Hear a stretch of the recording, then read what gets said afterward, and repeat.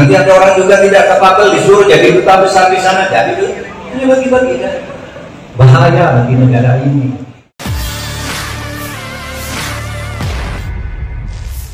Mahfud MD menyinggung soal pemilu yang kerap menjanjikan bagi-bagi jabatan. Hal tersebut disampaikan Mahfud MD saat menghadiri acara halal bihalal TPN pada Senin, 6 Mei 2024, malam.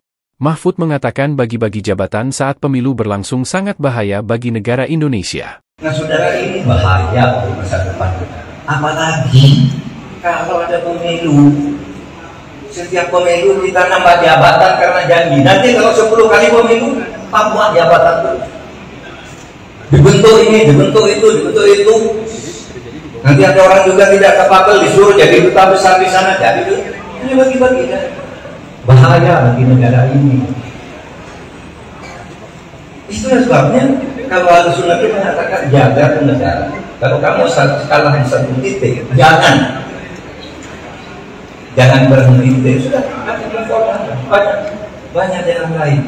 Dengan ada seorang imam namanya Ibnu Taimiyah itu mengatakan begini untuk menjaga negara ini yang jadi pegangan ahlu sunnah jamaah. Situ nasanawat bi imamin jahid afdol min lailatin bila imam.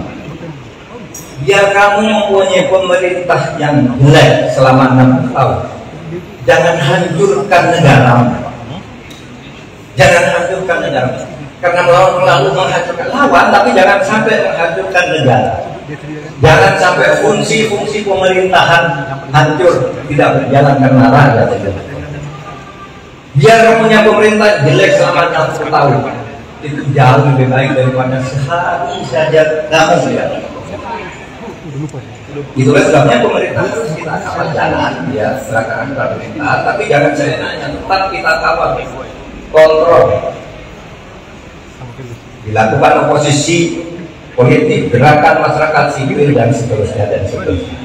Nah itulah saudara yang harus kita jaga ke depan. Kalau dari ini semua bisa diperjuangkan dari aspek-aspek politik di luar urusan MK, urusan MK itu sudah selesai. Ya, kita sedih, itu kalah ya tidak. Itu aturannya begitu karena kepikir ini seumpama saya menang. Download Tribun X sekarang, menghadirkan lokal menjadi Indonesia.